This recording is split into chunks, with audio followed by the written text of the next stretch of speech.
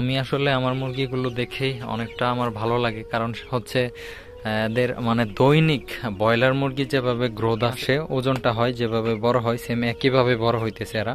আর দেখেন মুরগিটার সাইজ এটার আনুমানিক ওয়েটটা কত হবে আপনারা একটু আমাকে জানাবেন। এটার ওয়েট আছে মিনিমাম আটশো গ্রাম প্লাস টাইগার মুরগির সবচাইতে বড় সুবিধা হচ্ছে এরা কিন্তু প্রচুর ওয়েট আসে, প্রচুর। আপনি যদি ঠিক মতো এদেরকে টেক কেয়ার করতে পারেন, তাহলে কিন্তু আপনার মুরগি প্রচুর পরিমাণে ওয়েট আসবে। আসসালামু আলাইকুম। আশা করি সবাই অনেক ভালো আছেন। আলহামদুলিল্লাহ আল্লাহ রহমতে আমি অনেক ভালো আছি। তো দেখতে পারতেছেন অলরেডি রাত হয়ে গেছে। তো আজকে মূলত একটু অনেকটা ব্যস্ত ছিলাম। ময়মনসিং কিছু বাচ্চা নিয়ে গেছিলাম হচ্ছে দেশি মুরগির। তো এই কারণে মূলত দিনের মধ্যে ভিডিও করতে পারি নাই। তো ভাবলাম রাত্রে আপনাদেরকে একটু দেখাই কি হাল অবস্থার মধ্যে আছে।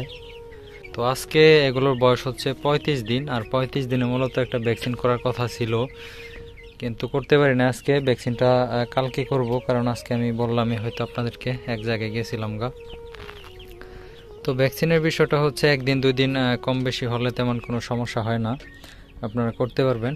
তো যাই হোক, যে কথা বলার জন্য আজকে আসছি, আমাকে অনেকে জিজ্ঞেস করে যে মানে মুরগি পালন কি দিয়ে শুরু করব।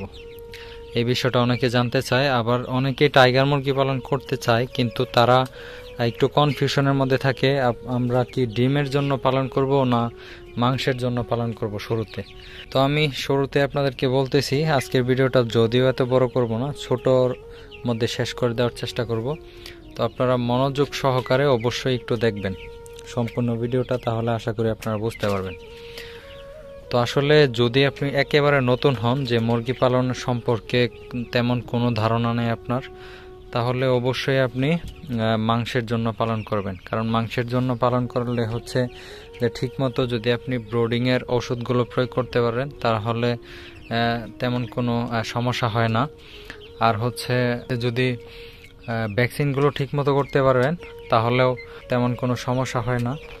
আর হচ্ছে মাংসের জন্য পালন করলে হয় যেটা, সেটা হচ্ছে খাবারের যে মানে ধারাবাহিকতা, ওইটার মধ্যেও তেমন কোনো পরিবর্তন আনতে হয় না আর কি মাংসের জন্য মূলত আপনাকে পালন করতে হবে দুই মাসের টার্গেট নিয়ে। দুই মাসের মধ্যে কিন্তু অ্যাভারেজ ওয়েট আপনার এক কেজি সাতশো থেকে এক কেজি আটশো গ্রাম হয়ে যাবে। তো আমার মতে মাংসের জন্য শুরুতে পালন করাটাই ভালো। আর ডিমের জন্য পালন করতে গেলে মানে তিন মাস পরে আবার খাবার চেঞ্জের একটা বিষয় থাকে। তো এটা মোটামুটি একটু হ্যাস্তন্যস্তর বিষয়। তো আমি মনে করি যেহেতু আপনারা শুরু করতে চান, তাহলে অবশ্যই আপনারা মাংস দিয়ে শুরু করবেন। তো বছরের মধ্যে আপনি চাইলে চারটা বেস অনায়াসে দিতে পারবেন। তারপরে হচ্ছে আপনি এক বছর পালন করার পরে আপনি আস্তে আস্তে ডিমের মধ্যে শিফট করলেন আর কি। তো এক্ষেত্রে আপনার অনেকটা শিখা হইল প্লাস ডিমের মধ্যে কিন্তু খাবারের তারতম্য অনেক। কারণ আড়াই থেকে তিন মাস পর্যন্ত আপনাকে গোয়ার খাবারটা খাওয়াইতে হয়। আর তাছাড়া সোনালির একটা ফিড আছে, ওইটাও খাওয়াইতে হয়। কারণ ডিমের জন্য পালন করলে আপনার হচ্ছে যেটা, এদের যে চর্বি, এটা কিন্তু নিয়ন্ত্রণ করতে হবে। আর চর্বি নিয়ন্ত্রণ আপনি তখনই করতে পারবেন, সেটা হচ্ছে ধরেন যদি আপনি এদের খাবার সম্পর্কে ভালো একটা ধারণা রাখেন, তাহলে কিন্তু আপনি এটা নিয়ন্ত্রণ করতে পারবেন। তাছাড়া কিন্তু আপনার পক্ষে সম্ভব না, কারণ যদি ব্রয়লারের খাবার বা সোনালির খাবার খাওয়ান এদেরকে চেষ্টা করেন যে এই খাবারগুলো খাওয়াই কিন্তু আমি ডিম আনব। এটা আসলে কোনোভাবেই সম্ভব না।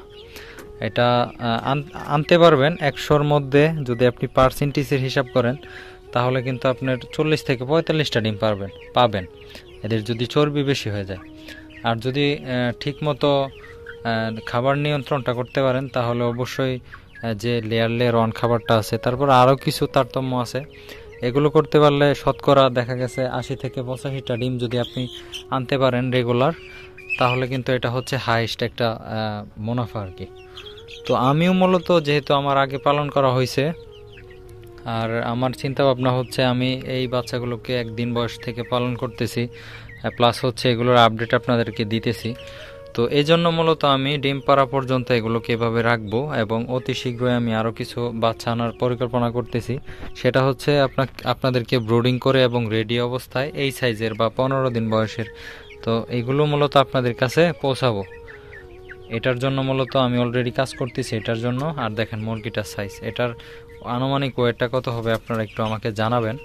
তো এটার ওয়েট যদি ওয়েট স্কেল আমার কাছে থাকতো তাহলে আমি ওয়েট দিয়ে দেখাইতাম, এটার ওয়েট আছে মিনিমাম আট, আটশো গ্রাম প্লাস এটা কিন্তু একটা মুরগি, দেখেন সাইজ কারণ এদের টাইগার মুরগি সবচাইতে বড় সুবিধা হচ্ছে এরা কিন্তু প্রচুর ওয়েট আসে, প্রচুর। আপনি যদি ঠিক মতো এদেরকে টেক কেয়ার করতে পারেন, খাবারের ধারাবাহিকতাটা ঠিক করতে পারেন, তাহলে কিন্তু আপনার মুরগি প্রচুর পরিমাণে ওয়েট আসবে। তো যাই হোক, আর কালকে মূলত এদেরকে আরডিবি ভ্যাকসিনটা দিব, যেটা ভ্যাকসিন সম্পর্কে আরেকটু যদি আপনাদেরকে বলি রানী ক্ষেতের ভ্যাকসিন হচ্ছে মূলত দুই ধরনের। একটা হচ্ছে বিসিআরডিবি এটা হচ্ছে একটা পাঁচ দিনের মধ্যে আর একটা একুশ দিনের মধ্যে, আর আরেকটা হচ্ছে আরডিবি সেটা হচ্ছে তিরিশ থেকে পঁয়ত্রিশ দিন। আমার মতে পঁয়ত্রিশ দিনের মধ্যে করাটাই ভালো, এবং আরেকটা হচ্ছে পঞ্চাশ দিনের মধ্যে, পঞ্চাশ থেকে পঞ্চান্ন দিন।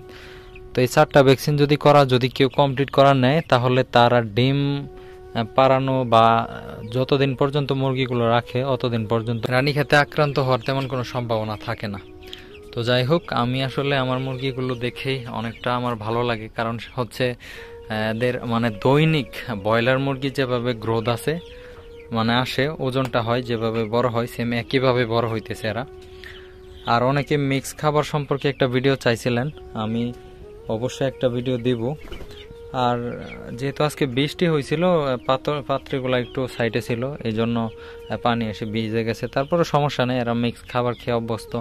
আশা করি এই খাবারগুলো খেয়ে নেবে। তো যাই হোক, অনেকে আমার মাধ্যমে বাচ্চা সংগ্রহ করতে চান। আমি মূলত বাচ্চা ডেলিভারি কাজ অলরেডি শুরু করছি। তো আজকে মূলত ডেলিভারি দিতে গেছিলাম। যদি কারও প্রয়োজন হয়, অবশ্যই আমাকে নক করবেন। আমি ডেসক্রিপশন বক্সের মধ্যে হোয়াটসঅ্যাপ নাম্বার দিয়ে দিব কন্ট্যাক্ট নাম্বার দিয়ে দিব। তো আমি সর্বোচ্চভাবে চেষ্টা করব আপনাদের কাছে পৌঁছানোর জন্য। আর যদি পার্সোনালি কোনো কিছু জানার থাকে, অবশ্যই আমাকে নক করবেন। আমি সমস্যাগুলো সমাধান দেওয়ার চেষ্টা করব। তো যাই হোক ভিডিও আজকে আর তেমনভাবে বড় করলাম না। তো আজকের মতো ভিডিওটা এখানে শেষ করছি। ভালো থাকবেন সবাই। আসসালামু আলাইকুম। আল্লাহ হাফেজ।